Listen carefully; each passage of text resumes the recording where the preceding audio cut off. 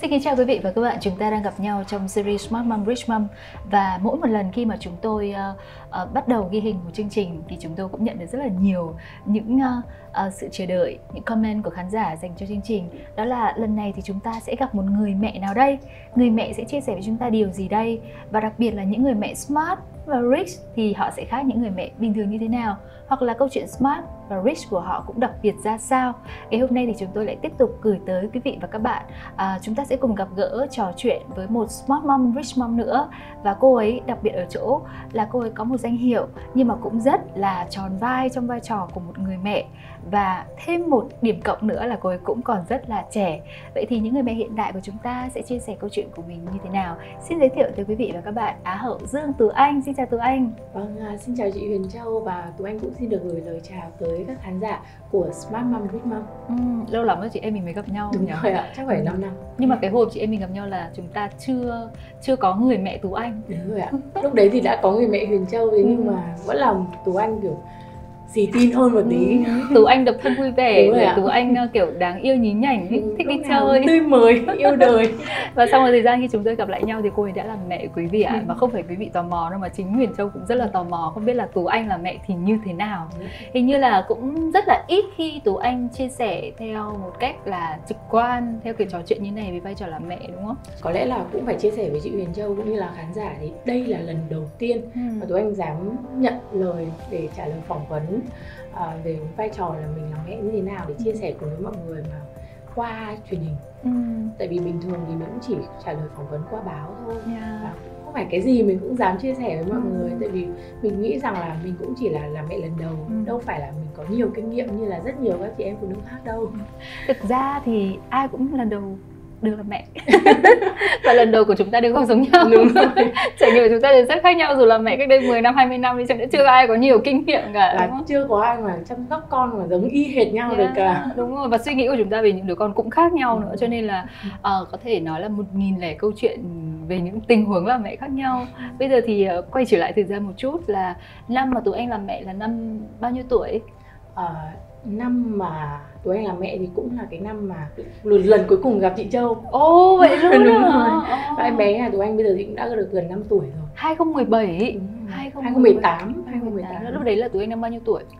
Lúc đấy bây giờ là 30 tuổi thì ừ. lúc đấy là 25 tuổi. 25 tuổi à. Ừ bật mí là bằng tuổi chị Châu lúc là mẹ và chị cũng là mẹ lần đầu xem xem nhau 25 tuổi vâng. nhưng mà không biết tụi anh như nào nhưng mà ừ, lúc đó thì um, chị Châu cảm thấy là dù 25 vẫn còn là quá sớm. Chính rất là sớm. Thật ra thì chưa bao giờ mà tụi anh có cái suy nghĩ rằng là mình sẽ lập gia đình và sinh con ở cái tuổi đó. Ừ. mình luôn nghĩ rằng là chắc chắn là phải sau 30 tuổi vì mình thấy mình vẫn bay nhảy quá. Ừ. mình vẫn thích được đi làm được đi đây đi đó chứ mình chưa bao giờ mà muốn là mình ổn định với một cái cuộc sống êm đềm. Thế yeah. nên là cũng chưa bao giờ nghĩ được thế nhưng mà đúng là làm mẹ là một cái điều mà chúng ta không bao giờ tính được yeah, đúng rồi và thực sự như là kiểu con cái là lộc trời cho ấy nhỉ và khi mà năm 25 tuổi mà tú anh biết được tin là mình sẽ làm mẹ đây thì cái cảm xúc lúc đó của tú anh như thế nào thực ra thì hai vợ chồng đều khóc ạ yeah. Dạ. có nghĩa là kiểu cười ra nước mắt lần ừ. đầu tiên biết trải nghiệm cười ra nước mắt là như thế nào ừ.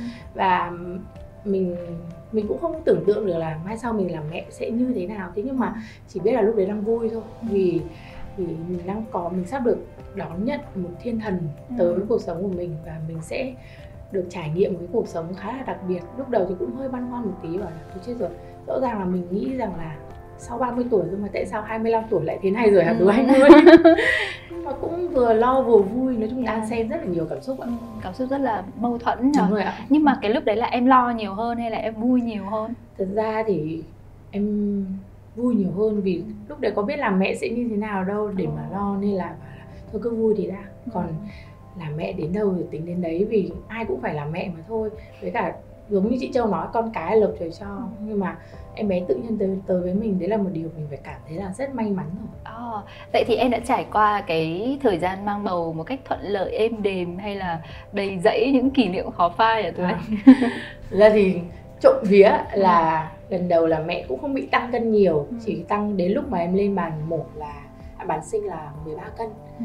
nhưng mà trong cái quá trình đấy thì cũng có vài câu chuyện đáng nhớ ừ. nó có một hôm thì đi ăn uh, tại vì suốt quá trình mang thai thì mình rất là khỏe mạnh yeah. và thậm chí không bị tiểu đường thai kỳ hay gì cả thì có một hôm mình các chị em mới bảo rủ nhau đi ăn đồ nhật ừ. lúc đấy là tú anh được khoảng 7 tháng và có ăn một miếng sushi thôi.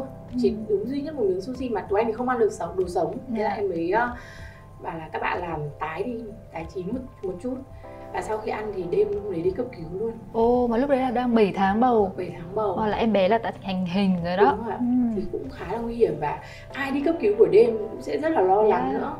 Và khi mà đến nơi thì bác sĩ lại bảo là cũng khá là nguy hiểm đấy tại vì đi ngoài nhiều bị mất nước nhiều. Ừ. thế thì uh, có khi là phải phải xem xét vì nếu như mà truyền cái thuốc gì đấy thì hay là kỳ giấy là phải chọn con hay chọn mẹ Ồ vậy luôn á hả? Lúc đấy nghe xong kiểu mình bị uh, Ôi, xây sầm mặt, mặt mày, mày luôn và chồng mình thì cũng rất là bối rối cả tất cả cả nhà ừ. từ bố mẹ chồng bố mẹ vợ chạy vào hết wow. để xem là tình hình thế nào thế nhưng mà thật ra thì khi mà xét nghiệm lại các thứ mọi thứ lại ok thì ừ. không không đến mức nghiêm trọng như thế nhưng mà có lẽ là khi đấy thì bác sĩ cũng muốn mình nghĩ tới những cái trường hợp xấu nhất để mình có thể chuẩn bị Thế là từ hồi đấy đến giờ đến bây giờ cũng vẫn chưa bao giờ dám ăn cái gì mà nó quá tái cả. Ờ, đúng là một bài học nhớ đời ấy nhỉ? Ờ, mình không thể nghĩ rằng là uh, cái uh, một cái hành động rất là nhỏ của mình có ảnh hưởng như thế. Mà nếu mà ngày xưa mình trẻ trẻ thì chắc cũng không sao đâu. Ừ. nhưng mà giờ khi mà mình biết là mình có thêm một sinh linh bé bỏng đang phải bảo vệ nữa thì lúc đấy cảm giác rất là lo sợ. Cảm thấy mình là phải cẩn thận gấp đôi. Ừ. trước đây thì mình có thể buông thả với sức khỏe của mình thế nhưng mà khi mà mình mang bầu rồi thì mình nhận ra là bây giờ quan trọng nhất là con của mình trong bụng. Ừ. nên là khá là cẩn thận. Đấy là một trong số những kỷ niệm rất là đáng nhớ rất là gọi là nhớ đời luôn. nhớ đời à? là không bao giờ đến như một lần sau mang bầu thì chắc là không bao giờ dám nghĩ đến chuyện đấy nữa. Thế còn uh, cái cảm giác mà lần đầu tiên đón em bé đã diễn ra với em như thế nào? À, thật ra thì khi mà đúng cái tuần mà mình sẽ phải đi sinh rồi thì đến vẫn chưa có à chưa có dấu hiệu gì cả. Nhưng đêm hôm đấy thì lại bắt đầu có dấu hiệu à, thế là cả nhà tức tốc đưa chạy vào bệnh viện. Thế là bác sĩ bảo thôi nhập viện luôn đi có thể là ngày hôm nay hoặc là sáng mai sẽ sinh ừ. nhưng mà lại mọi thứ lại lại trở về bình thường dần bình thường dần à. coi như là mình ngủ một đêm ở khách sạn à, ở bệnh viện và sáng sau bác sĩ bảo thôi đi về đi chưa đẻ đâu oh. thế là cả nhà hụt hẫng ừ. và một tuần sau mới quay trở lại thì cảm giác là mẹ hụt ấy cảm giác mẹ hụt ấy chị ạ và một tuần sau quay trở lại thì lúc đấy là em đã vỡ ối buổi sáng sớm rồi ừ. nhưng mà khi mà vừa đến thì lại bình thường oh. tất cả mọi thứ lại bình thường mãi chưa đến lúc sinh ừ. ờ, thậm chí cái tình huống mà khiến mình nhớ nhất đấy là à, bác sĩ đi khá vào khám cho mình trông rất là quen ừ. mình bảo ai bảo, ôi đây là anh con trai của cô giáo chủ nhiệm cấp 2 lúc đấy vừa muốn đẻ vừa không muốn đẻ nữa vừa xấu hổ xấu hổ quá nhưng mà cũng cũng may là đến. Dạ. buổi tối thì bắt đầu mới trở dạ và ừ. và quá trình sinh chờ sinh lâu hơn là lúc sinh lúc sinh thì chỉ có mất 15 phút ừ. tụi anh đẻ thường trời ừ. ơi giỏi quá tại vì là em bé cũng chỉ khoảng 3 cân khi ừ. mà sinh ra và lúc đấy như là một cái bản năng mình tiễn hai hàng nước mắt chảy xuống à. mà đúng là vẫn là cười ra nước mắt và ừ. cảm thấy là ôi cảm ơn uh, trời Phật tại vì là con mình đã được sinh ra một cách khỏe mạnh ừ. lúc đấy thì em đón nhận được cái không khí của các thành viên trong gia đình em có quan sát mọi người không cái phản ứng của mọi người như thế nào thật ra là mọi người quá bối rối ạ ừ. vì là cả họ hàng vào chờ từ lúc 6 giờ thậm chí là lúc 6 giờ sáng là đã tưởng là đẻ tới nơi rồi ừ. thế nên là mà đường ở trên cầu rất là tắc yeah. là chị chồng em thậm chí là thấy tắc đường và nhảy xuống đi bộ ừ. đi bộ từ trên cầu để đến bệnh viện wow. vì sợ là vâng ừ. vì sợ là sợ con bé này nó mới đời lần đầu mang thai nó sợ quá hay nó bối rối quá nó không không biết làm thế nào thì sao. Ừ. là cả nhà vào chờ và thật ra thì đến lúc mà đợi đến 8 giờ tối thì mọi người mệt nhoài hết rồi. Thì mọi người cũng cũng có mọi người có nghĩ là thôi thà để cho nó xong đi cho mọi người đỡ mệt. Chắc là ở ngoài mọi người cũng thế. Và em có hỏi mẹ em là thế mẹ ở ngoài mẹ có thấy lo không? Ừ. tại vì là chỉ có chồng em được ở trong phòng sinh. Mẹ bảo là không. Chỉ bảo là lại sao không thấy con bé này nó kêu hay nó hét nhỉ ừ. nhưng mà thực ra thì đẻ nó êm du quá nên nó không có hết hết hết la gì cả tức là cái sức khỏe rồi cái tâm lý của em quá tốt đến mức độ mà khi em sinh em bé cũng cảm giác nhẹ nhõm mà khi mà lúc mà bắt đầu cảm thấy là trở dạng thì bác sĩ bảo dặn mạnh vào nhá ừ. nếu mà dặn mà không tốt nhá là phải dặn lại từ đầu mất sức hơn rất là nhiều ừ. à, em mắm môi mắm lợi em ừ. không cần biết gì cả em chỉ biết là lúc đấy là mọi người bảo là đừng để cho chồng nhìn xuống lúc đẻ có gì thì bắt chồng nhìn lên mặt ừ. thôi để lúc nào cũng nhìn thấy là mình phải cố gắng thế nào thế là xong lúc mà em đang cố để dạ đẻ thì em vẫn bảo chồng em không được nhìn xuống không được nhìn xuống ừ. nhìn lên nhìn lên ừ. thế là nhưng mà nói chung là đấy là những cái câu chuyện hài lúc mà yeah. Dạ. sinh thôi ờ. còn đâu khi mà đón em bé ra thì ai cũng phấn khởi và vui mừng cái đêm đầu tiên khi mà em ôm một cái cục bông bé xíu ở trong tay ấy, thì cái cảm giác của em như thế nào đúng là kỳ lạ nhỉ tại sao ờ. mình lại mang nong nặng để đau được một cái sinh linh như thế này. Xong rồi bây giờ bạn này lại nằm trên tay mình xong kiểu ừ, đáng yêu như thế này. Ừ. và thực ra cả đêm đấy hầu như em không ngủ rất là ít vì mình mình vui quá. Xong rồi mình cứ ngồi ngắm em bé vâng, được đúng rồi em có cảm giác sợ không? Và không sợ nữa không đấy sợ thì vẫn chưa sợ. Ạ vẫn chưa sợ thôi. Và sợ vì thì... sợ vì em bé bé quá ấy. à đúng rồi sợ làm gãy tay gãy chân. hơi hơi sợ một tí. Ừ. nhưng mà cũng may là khi mà sinh thì cũng có các cô y tá các cô hỗ trợ rất là ừ. nhiều suốt đêm đấy nên là mình cũng cảm thấy đỡ lo lắng hơn rất là nhiều ừ. thế bắt đầu từ khi nào em mới quen cái cảm giác là em là một người mẹ mất bao nhiêu ngày mới biết là ừ. mình đang là mẹ rồi là ngay từ lúc sinh ra là đã cảm nhận ý thức được là mình phải làm mẹ như nào rồi thế nhưng mà khi mà bế em bé từ viện về nhà ừ. và lúc đấy thì mọi người đang chạy linh tinh hết. Để người thì đi lấy đồ về người thì ký giấy tờ ở viện chưa yes. về thì có một khoảng thời gian khoảng 30 phút là chỉ có một mình em với em bé thôi. Tự em lại cảm thấy sợ. Ừ. cảm thấy run mà tôi chết rồi nhỡ mình sợ quá mình bế con mà rơi con thì sao ừ, con mình nó bé tí thế này mà. Vâng cũng hơi sợ. Ừ. xong rồi lúc đấy cho em bé ăn thì em bé lại ăn no quá. Ừ. em bé ọc hết cả thân em ngồi em khóc luôn. Oh. khóc nức nở. Mà chị biết là khi mà phụ nữ vừa sinh xong thì rất là nhạy cảm. Ừ. thế cho nên là chỉ cần nhìn thấy con làm gì thôi em cũng khóc. Ừ. em nhìn con cười em cũng khóc. Em cho con ăn em cũng khóc. Ờ. nhìn con ngủ em cũng khóc. Ừ. nên mình nhiều lúc đi lại không thể hơi buồn cười. Ờ. Thực ra bây giờ có khi vẫn thế đấy. Đúng ạ. Bởi vì con nó cứ như là một cái thứ tình cảm gì đấy rất là khó để có thể uh, bộc phát ra thành một định nghĩa thành lời hay là uh, con là thiêng liêng nhưng nó thiêng liêng như thế nào nói bao nhiêu chắc cũng không đủ bởi vì mình yêu con mình quá ấy. cái cảm giác yêu con tức là bệnh yêu con thì nhiều bà mẹ gặp phải rồi nhưng mỗi người yêu con thì một cách khác. Đó thế thì uh, À, em bé đầu tiên thì đã đem đến cho ngôi nhà của em cái sự thay đổi giữa hai vợ chồng như thế nào? Khi mà bây giờ là hai người kiểu rất là thoải mái tự do vâng. có thêm một ờ, gọi là cái rơ móc đi kèm ấy thì cuộc sống vợ chồng thay đổi ra sao? Thì thật ra lúc bầu hai vợ chồng ngồi nha bà chắc là mình sinh con ra thì cũng chẳng có thay đổi gì nhiều đâu mình vẫn đang vui như thế này mà. Ừ. Xong đến ngày mà đưa con về từ viện là mọi thứ thay đổi đảo lộn. Ừ. 180 độ luôn vì Xáo trộn luôn đấy ha. vì em bé cứ ăn rồi khóc rồi đi vệ sinh cả ngày chỉ có luẩn quẩn như thế. Thì bản thân mình cũng cảm thấy là, là hơi stress vì lần đầu tiên là mẹ mình chưa có một cái kinh nghiệm gì cả mình ừ. chỉ làm theo bản năng thôi. Ừ. em cũng có lên mạng để tham khảo rất là nhiều thế nhưng mà mình mình vẫn bối rối vì mình chưa biết là mình có làm đúng hay không ừ. và có một lần thì em em đưa con đi tiêm tiêm phòng ngay sau khi mà, mà sinh xong hoặc sau một tuần thì ừ. em sốt 40 độ luôn ừ. thế là chồng em thì rất là kỹ tính hai chồng em mới nói là em ở nguyên ở trên tầng tầng 3 này thôi có nghĩa em như là công chúa bị cấm cung vậy ừ. thậm chí chồng em không cho em xuống tầng một nữa vì em sợ em trùng gió em lại ốm tiếp ừ. thế là mình tự nhiên mình thành stress nặng hơn xong bí bách hơn yeah. chiều chiều cứ ngồi ở cửa sổ ấy chị để nhìn ngóng kiểu chồng đi làm về để có tính người ôi trời ơi thế là kiểu bị buồn quá ừ. vẫn có mẹ có bà nội bà ngoại sang nhưng mà không phải lúc nào mọi người cũng ở cạnh mình được ừ. 24 trên 7 được thế là em thành em hơi hơi stress thì khi mà mình stress thì mình thì cảm giác sẽ... mình bị cả thế giới bỏ rơi ấy đúng ạ à. và mình cũng rất là hay nhạy cảm với chồng mình mình hay bực tức hay cáu giận ừ. nhiều khi nhận ra là mình có cáu giận chồng mình vô vô vô lý một tí. Ừ. thế nhưng mà cũng may là lúc đầu thì chồng em cũng bảo là hình như tính em hơi thay đổi một tí. Nó rất là nhẹ nhàng nói nói kiểu rụt rè thôi. Xong rồi chồng em cũng hỏi với cả mẹ em là mẹ ơi hình như vợ con có điều gì ấy? Ừ. đó thật ra không phải.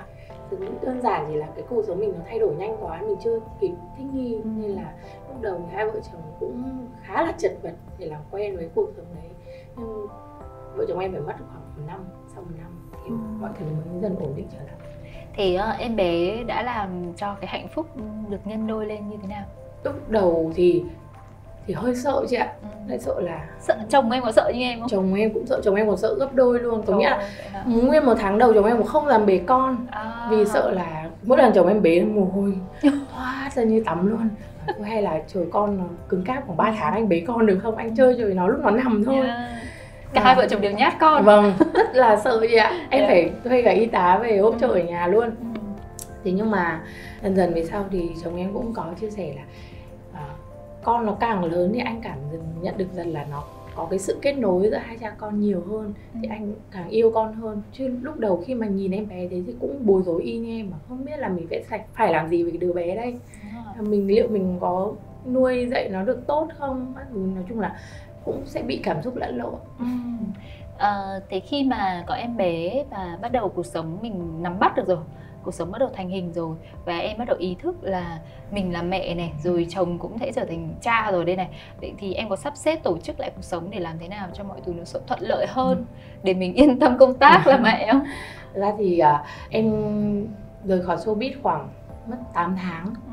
là mình toàn dành toàn thời gian dành cho em bé uh, em thì cũng không phải là có sữa thì cho nên em bị mất sữa ngay từ hai tháng đầu. Có phải vì do là em lo lắng quá. Không? em em stress quá. Và thế là em lúc nào em em em sợ người khác ôm con mình ấy thì nó là cái gì em cũng đến tay em luôn. Thế là em không còn thời gian để bắt sữa thì dần dần em mất sữa. Ừ. thế là mình càng tinh tinh hơn. Vâng.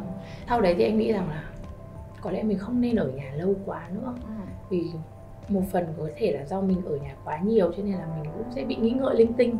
Em quyết quyết định là sao mình không quay trở lại công việc mà mình yêu thích? Ừ. mình mình nếu mà mình quay trở lại mình cứ thử đi.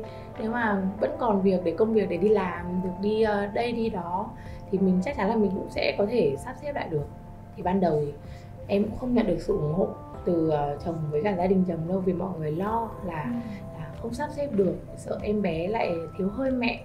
Thế nhưng mà dần dần thuyết phục cả nhà. Và khi mà mọi người thấy được rằng em em vẫn đi làm thế nhưng mà không phải show nào em cũng nhận.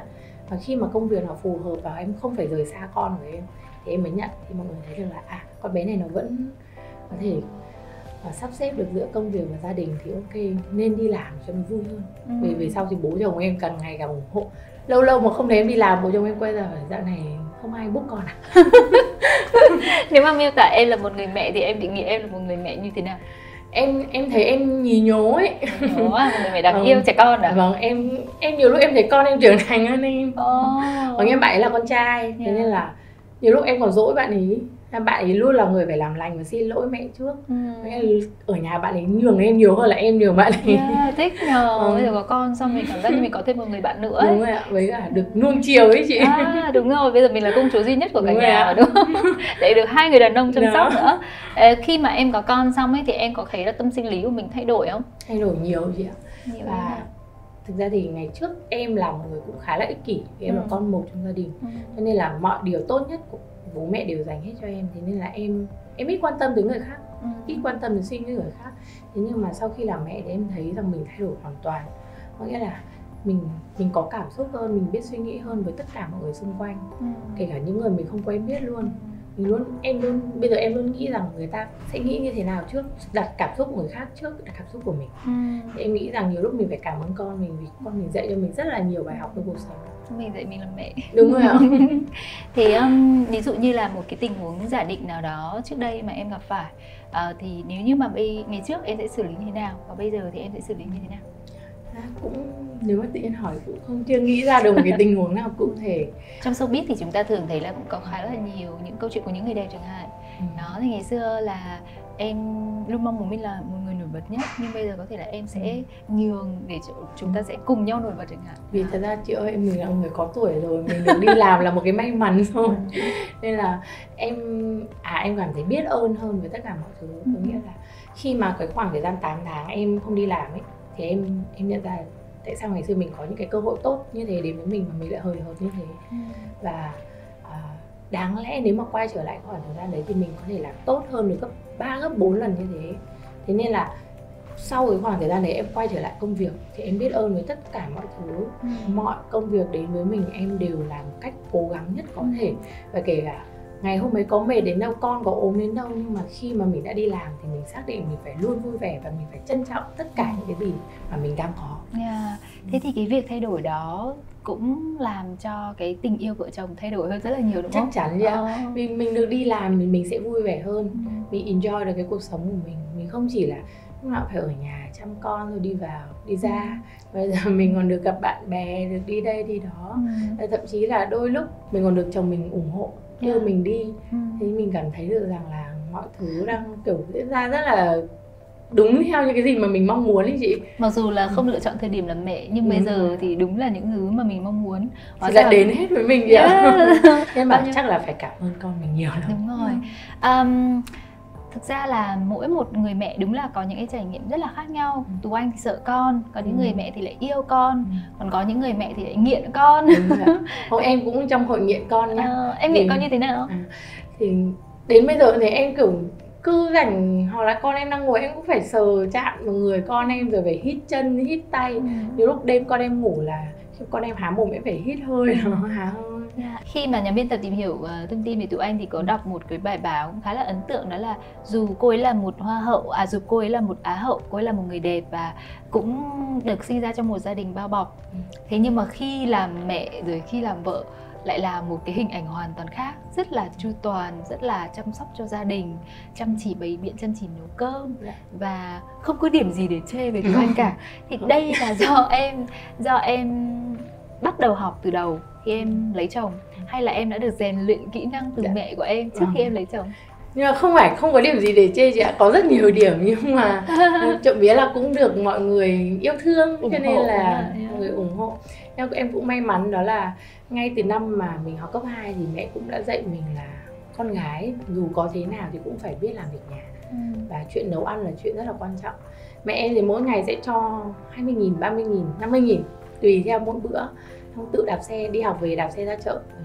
rồi tự chọn về nấu có những hôm mình nấu rất là dở nhưng bố mẹ vẫn ok ăn chấp nhận thế nhưng mà dần dần thói quen thì mình bắt đầu biết nấu ăn là đây chồng em cũng nói đấy là một cái điểm mà anh yêu ở em đấy là à. em em chịu khó nấu cơm cho cả nhà ừ. biết làm việc nhà thích chăm con yeah. thế cho nên là với cả đây cũng là cái sở thích của em nữa ừ. em thích được ở nhà dành thời gian với con cái và em thích được nấu ăn nữa ừ. khi mà nhìn mọi người ăn đồ ăn của mình mình thấy vui lắm vì mọi người ăn hết sạch ấy yeah. ngày xưa tụi anh có thích ở nhà không em ngày xưa em không thích ở nhà thế tại sao bây giờ lại thích ở nhà chắc là vì có con ấy chị ạ ờ. vì chơi với con em thấy không chơi với ai vui bằng chơi với con yeah. mình hết ấy. đó chính là sự thay đổi rất là lớn đấy bởi vì là từ một người hướng ngoại trở thành một người ừ, cũng hướng nội đấy nhở vâng. và mình không nghĩ là mình lại có cái góc hướng nội kinh khủng khiếp như thế cái việc mà khi em hướng nội em tập trung bên trong em tập trung chăm sóc cho con em dịch chuyển cái sự hạnh phúc của mình thành hạnh phúc của người khác ừ. em thấy cuộc sống của mình nó như thế nào em thấy cuộc sống của mình nó tuyệt hơn rất là nhiều ấy. Ừ. tại vì là mình cứ chăm chăm trong suy nghĩ cho bản thân mình thì ừ. mãi đâu có được đâu tại vì là kể mình có không tốt ở đâu hay là mình mình có điểm gì chưa được mình cũng không biết được vì mình luôn nghĩ mình là đúng mà ừ. thế nhưng mà khi mà có con xong mình mình suy nghĩ khác đi và mình lắng nghe người khác nhiều hơn thì mình biết được rằng là à, mình phải thay đổi cái gì để để hoàn thiện bản thân mình hơn yeah. và khi mà em là mẹ rồi em có những cái điểm gì mà em thấy bất ngờ về bản thân mình không ngờ đấy là suy nghĩ cho người khác nhiều chị ạ. Ồ, oh, yeah. Ừ, với cả em uh, từ đấy từ hướng ngoại về hướng nội. Ngày xưa thì rất thích là được la cà của bạn bè ví dụ những ngày ngày mà vào đông như thế này thời tiết là đẹp thì chắc chắn là phải ở ngoài đường phải ở trên phố đi lượn lờ cà phê cà pháo bạn nhưng bây giờ thì là nghĩ là à nay là cuối tuần trời đến này cho con đi chơi ở công viên rồi cho con đi mua đồ chơi chơi với con. Thì... mọi người thì sao? Mọi người xung quanh này có bất ngờ không? Mọi người bảo là bây giờ gọi con bé này lên phố khó quá. Thậm chí là có những hôm mà phải hai ba tháng nếu mà em không phải đi làm thì ừ. em không lên phố ừ. em mới mới lên phố thì có những thứ thay đổi mà em kiểu bắt chữ o một chữ a và sao bây giờ cái con phố này nó lại như thế này yeah. có nghĩa wow. là mình đã quá lâu mình ở nhà ừ. rồi nhất là cái đời covid đi chị yeah. em có có bao giờ em cảm thấy tiếc nuối không? Bởi vì mình đánh đổi toàn bộ những cái thứ của tuổi trẻ để trở thành một người in house một người bên, một người hoàn toàn tập trung ở bên trong như thế. Thật ra thì ngày xưa em cũng là một người rất là thích trẻ con rồi. Ừ. thế cho nên là em khi mà mình có con thì mình lại thấy mình chỉ sợ vì mình không biết là làm thế nào để làm mẹ đúng cách và ừ. chăm con đúng cách thôi. Thế nhưng mà khi mà được trở thành người mẹ thành người vợ rồi thì đúng là lúc đầu thì cũng hơi buồn vì khi nhìn thấy các bạn mình ừ. vẫn đang ở độ tuổi đấy đi bay nhảy vẫn được đi vui chơi đi cà phê cà pháo thành thơi. Nhưng mình thì ở nhà xấu xí ngồi vắt sữa à. rồi lúng túng với một đứa bé. Có tuổi thân không? vâng, cũng hơi tuổi thân. một tí lúc đầu. Thế nhưng mà dần dần càng ngày thì càng mà cũng may. Bây giờ mình có con ở cái độ tuổi đấy rồi thì chắc chắn là trong tương lai thì mình cũng sẽ nhàn hơn rất là nhiều so với bạn của mình. Yeah. ờ, chị thấy là bây giờ người ta dạy con rất là khác ngày xưa ừ. ngày xưa thì các cụ đẻ nhiều con ấy sinh nhiều con ấy cho nên là các con tự lớn tự phát triển xong rồi có sao ăn vậy yeah. nhưng bây giờ thì khi mà đời sống của mình hiện đại hơn thì đẻ ra rất nhiều thứ. Yeah. có khi là mẹ bây giờ khó ngày xưa. Không không được. nhiều thứ quá. Dạ, nhiều thứ quá. đáng nghĩa là đầy đủ hơn thì phải sung sướng hơn nhưng có khi lại phức tạp hơn. Thế em có rơi vào cái tình trạng là uh, đôi khi cảm thấy loay hoay đôi khi cảm thấy lúng túng không biết là mình sẽ lựa chọn phương pháp nào để chăm sóc con hay là nuôi dạy con không? Chắc chắn là có ạ. Vì ừ. bây giờ thời đại 4.0 mình cần cái gì là mình gõ Google hay là lên ừ. Facebook các trang mạng xã hội là ra hết thì mình em cũng có tham khảo rất là nhiều cái cách chăm con ở trên mạng mình bảo tôi chết rồi nhất là cái khoảng ăn thời gian mà cho bé ăn dặm thì yeah. như thế nào mới là đúng như thế oh. nào mới là hợp con mình quá là bối rối nào là ăn kiểu nhật nào là ăn ờ, tự ờ, tự chỉ huy ừ. kiểu thế nhưng mà đành phải thử em có làm không em có áp dụng công thức em không? em thử mỗi thứ một tí xem con mình nó hợp cái gì nhất và cho mình cuối cùng em kết hợp đăng ký kết hợp luôn. thì à, lập ra công thức mang tên tú anh à? Vâng. Có nghĩa là một ít nhật một ít tự chỉ huy một ít truyền thống. Thế em thấy bé phát triển như thế nào? À, thực ra bạn ấy em thì cũng may mắn là bạn ấy uh, cũng khá là dễ. Ừ. bạn ấy uh, với cả bạn ấy lúc nào cũng vui vẻ chị. Có à. lẽ là khi mà bạn vừa để ra bạn cười rồi nên là lúc nào bạn cũng vui. Kể cả bạn có đang ốm ừ. thì khi mà trẻ con mệt quá thì nhiều lúc cũng sẽ quấy. Thế nhưng mà bạn ấy uh, hầu hết là bạn ấy lúc nào cũng vui tươi rồi bạn ấy cũng khá là tình cảm nữa bạn ấy như là hạt giống tâm hồn của em ấy nhỉ? Đúng rồi ờ, có bao giờ mà không có ai khác ngoài cậu bé đấy giúp tú anh tâm sự tất cả những cái khoảnh khắc yếu đuối của em không? Em cũng là một người khá là tích cực với chị. Ừ. nên là mình mình lúc nào cũng vui giống con mình. Em ít khi buồn và em luôn nghĩ rằng cái gì đến thì nó phải đến thôi. Bây giờ mình nghĩ nhiều quá đâu có giải quyết được gì đâu. Thôi kệ cho nó tự xảy ra tự nhiên đi. À. bố mẹ chồng em cũng trêu bảo là con bé này nó hồn nhiên quá hay sao ấy cho nên là nó trẻ lâu được thế thì còn với vai trò là một người mẹ thì em mong muốn rằng là em sẽ ờ, con của mình sẽ là một người đàn ông như thế nào? Thực sự thì vừa nãy em cũng có chia sẻ với chị cái câu chuyện mà lúc nào em cũng để cho con mình phải chủ động làm lành với mình trước rồi ừ. phải xin lỗi mình trước thì đấy là cái mà mình mong muốn con mình là mai sau phải biết biết nhường nhịn rồi biết san sẻ yêu thương ừ. vì em rất sợ là nó sẽ trở nên ích kỷ bởi vì ừ. hiện tại thì con em vẫn là con một thôi ừ. và chính cũng là sự yêu thương của tất cả mọi người từ hai bên nội ngoại đều dồn vào em bé nhà mình nên là mình cũng muốn làm sao để bạn ấy mai sau bạn ấy chan hòa bạn vui vẻ ừ. với cả là mình cũng vì bạn ấy là con trai nên là cũng không muốn là bạn ấy ờ, thấy mọi thứ đến với mình dễ dàng quá ừ. em có uh, có một cái uh, kỷ luật nào á mà chỉ là nguyên tắc trong riêng gia đình của em nó trở thành một cái văn hóa của riêng cá nhân gia đình của em mà em muốn chia sẻ cho con của mình không? Thật ra thì không phải là à, em không muốn là mình mình quá áp dụng cái việc dạy con của ông bà nội hay ông bà ngoại và con của mình vì ừ. mỗi một đứa trẻ sẽ có những cái tính cách khác nhau thế nên là em luôn cố gắng làm sao để tìm hiểu xem là ở với mỗi độ tuổi thì con sẽ có những cái sự thay đổi như thế nào để ừ. tìm ra cái phương pháp răn đe bạn ấy đúng cách nhất nói chung là em sẽ không bao giờ mình nghĩ đến việc là mình sẽ đánh con cả oh. hay là dùng cái biện pháp quá kinh khủng với con ừ. thế nhưng mà bạn ấy cũng là một người khá là biết lắng nghe nên ừ. là khi mà bạn ấy có một cái hành động gì mà không đúng mực thì em sẽ gọi là là em nói chuyện luôn em nói chuyện như là hai người lớn hai người trưởng thành với nhau thế xong rồi em à, bạn sẽ bảo bạn ấy đứng ra một cái góc tường ừ.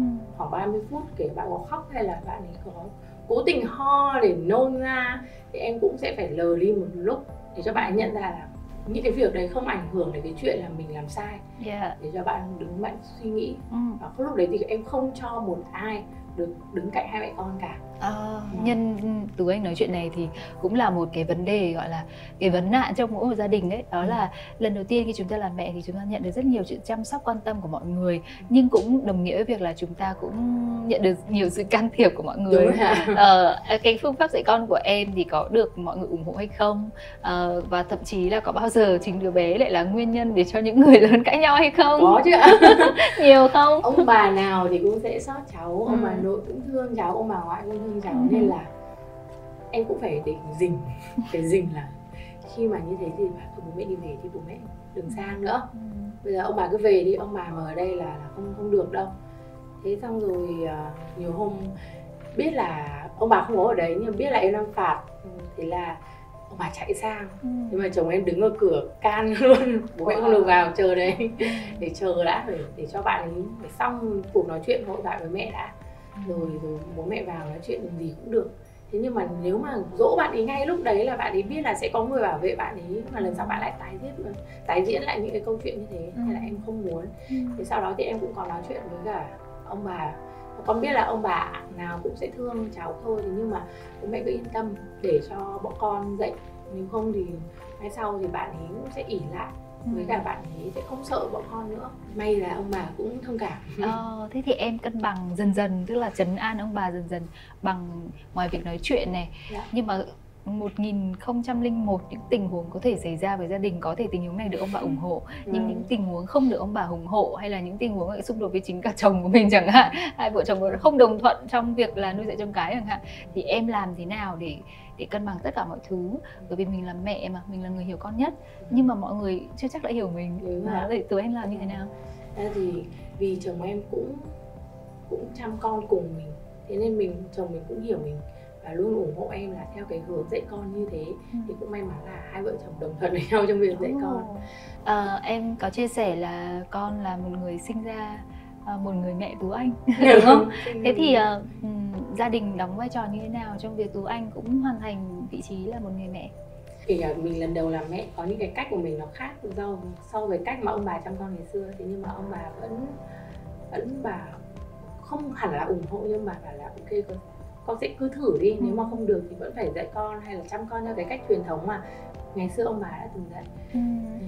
ai là người mà ừ, tú anh lấy làm gương ấy để ừ, để mình làm mẹ là em cũng học mỗi người một tí chứ ạ à. nên là mình cũng không đưa hẳn ra một cái tấm gương nào cố định để ừ. mình học hỏi theo cả mình mình thấy ai có cái điều gì hay thì mình học hỏi thôi ừ.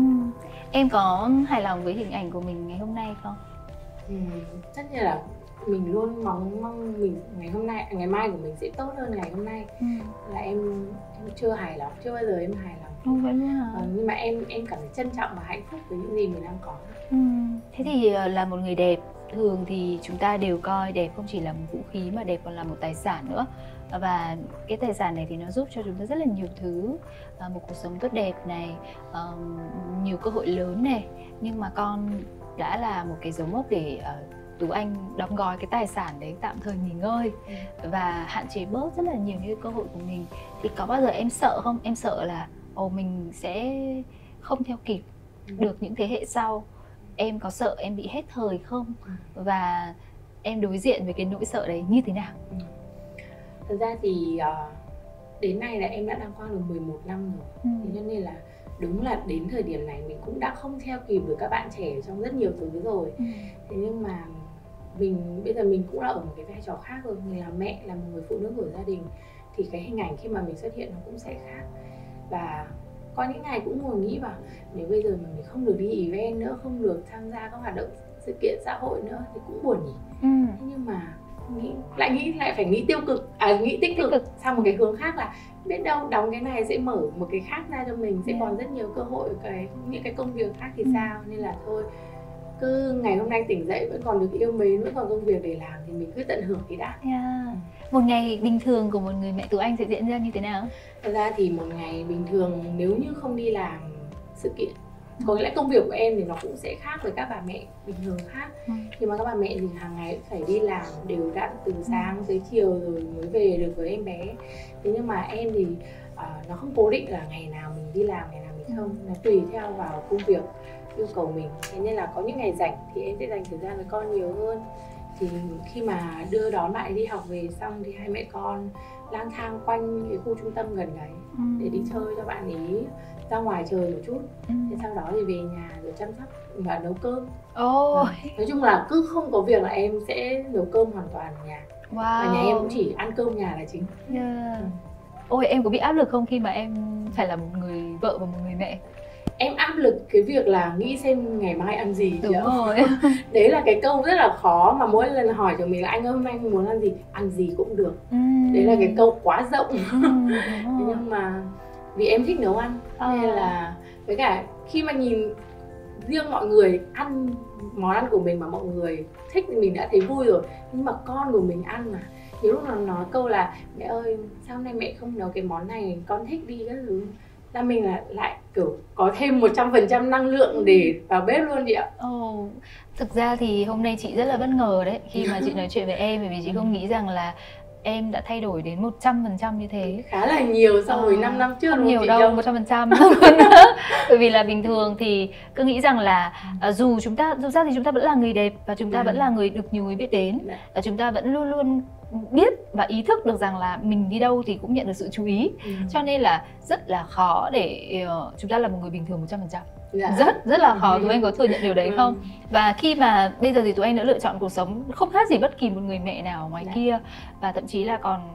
còn còn bình thường hơn cả họ ở chỗ là em có thể hy sinh cả công việc của mình ừ. và em full time dành thời gian cho con và bất kỳ khi nào em đi làm thì em đều nhanh nhanh chóng chóng Đúng mong muốn trở về với con yeah. còn những người mẹ khác thì họ có thể ngay lập tức bắt đầu lại công việc văn phòng của mình yeah. họ có cái sự sao nhãn nhất định họ có những cái sự uh, gọi là sắp xếp nhất định có thể là họ tỉnh táo hơn yeah. nhưng mình thì quá nghiện con quá yêu con và đây cũng là một uh, đối với nhiều người thì họ nghĩ là thiệt thòi nhưng có lẽ là ở góc độ mà của chị Châu nhìn hay là ở talk show này đang nhìn thì nghĩ đấy lại là một món quà ừ. bởi vì uh, con thì lớn rất là nhanh. Dạ. bây giờ thì bé đã 6 tuổi rồi đúng không? 5 tuổi. 5 tuổi. À. bây giờ lại bé đã 5 tuổi tức dạ. là bắt đầu đi học lớp 1 đến nơi rồi. chuẩn bị rồi đấy ạ. Ờ, bây giờ con của tụi anh chuẩn bị đi học rồi đó. Nghe cũng sốc nghe ờ, nghe cũng thấy rằng là ôi trời ơi uh, chẳng mấy chốc lại vèo vèo con lên cấp 1 con lên cấp 2 rồi con lên cấp 3 thì chuyện gì ạ. sẽ xảy ra mình không thể biết được. Nhưng mà những đứa trẻ chính là uh, một cái um, thử thách thời gian với chúng ta là con sẽ lớn rất nhanh và chúng ta cũng cần phải có cái đốc tốc độ không? Bây giờ không chỉ là theo kịp thời đại mà còn theo kịp cả con của mình nữa. Và đấy chính thực sự là uh, một cái món quà dành cho em. Bởi vì đáng nhẽ như là mọi người thường hay ngồi kể với nhau là em vừa đạt được danh hiệu này em vừa được award kia nhưng mà hôm nay tú anh rất là giản dị kể một cái vâng. câu chuyện mà thực ra không phải một người mẹ nào ở thời điểm hiện tại cũng có thể sắp xếp được như em. Ừ.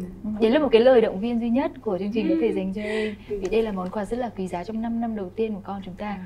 vậy thì um, uh, theo em thế nào là một người mẹ thành công? Thật ra thì em nghĩ rằng với mỗi người sẽ có cái định hướng mình là mẹ khác nhau. Ừ. vì mẹ sẽ phải hiểu con mình nhất mà. Và người mẹ đấy cũng phải hiểu rằng cuộc sống của mình mình muốn lựa chọn như thế nào. Nên em nghĩ rằng không biết rằng rằng một người mẹ thành công là như thế nào. Nhưng có lẽ là cái người phụ nữ ấy phải hài lòng với tất cả những cái lựa chọn cái quyết định mà mình đã đưa ra ừ. cũng như là cái cách mà mình đang chăm sóc con của mình ừ. vì mình chăm được con mình khỏe mạnh con mình ngoan ngoãn ừ. hay là mình cân bằng giữa công việc và làm mẹ là đã là thành công rồi chị ạ ừ. nên em nghĩ rằng đó là tùy theo mỗi người nếu như mà áp dụng theo ờ, những phương pháp dạy con thì em muốn áp dụng theo phương pháp nào uh, để cho con phát triển tự do hay là ờ, định hướng con theo một hình mẫu nào đó em em không bao giờ muốn là mình sẽ trở thành một bà mẹ mà gây áp lực cho con của mình ừ. và mình cũng đọc rất là nhiều những cái câu chuyện trên mạng và khiến cho cái mong ước của cha mẹ vô tình khiến cho đứa bé thành một đứa bé mà bị áp lực rất là nhiều ừ. thì mình không muốn mình sẽ bị như thế và em thì em luôn tôn trọng là bạn ấy sẽ thích cái gì và em luôn để ý trong những cái sở thích của bạn ấy ừ. bây giờ ra ở nhà thì em em cũng không cho bạn ấy sử dụng ipad hay điện thoại quá nhiều nghĩa là chỉ khi mà bạn ấy uh, ăn xong thôi thì bạn sẽ được xem một lúc ừ. còn lại hầu hết thì bạn phải chơi với đồ chơi với cả ba mẹ và em luôn cố là mua những cái uh, món đồ chơi mà có thể tương tác được giữa nhiều thành viên trong gia đình với nhau. Yeah. À. Ừ. Nếu mà để uh, uh, miêu tả về con của mình ý, thì em sẽ miêu tả bằng những tính từ như thế nào? Nhí nhố, ừ. vui vẻ ừ. Và yêu đời. Yeah, giống ai nhỉ? Giống mẹ.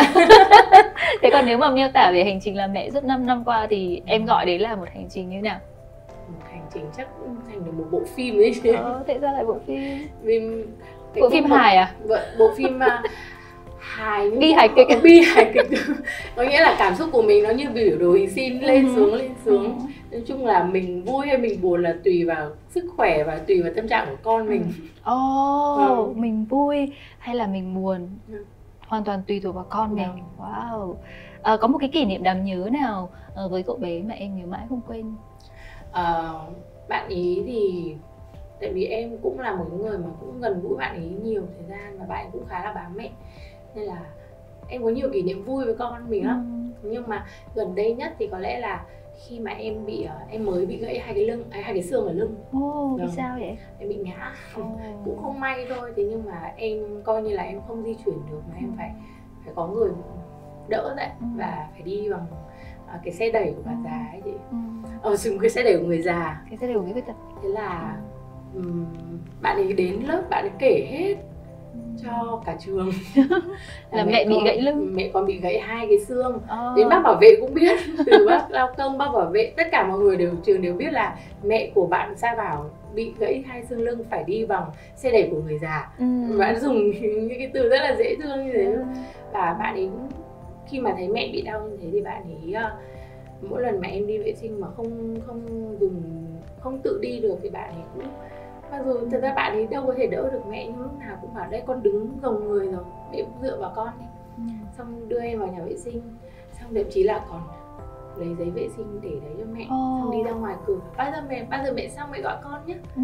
thế tự nhiên mình thấy có bao nhiêu cái đau đớn với cả mệt mỏi của mình nó tan biến yeah. hết chị ạ một cô bé rất là biết quan tâm mọi vâng. người nhờ một cô bé rất là tình cảm thế tụi anh có định sinh bé nữa không để con thành ạ. công ngày trước khi mà lúc mà mới để bạn ấy xong thì bảo chắc đây là lần đầu và lần cuối mình sinh ừ. con quá sợ rồi ừ.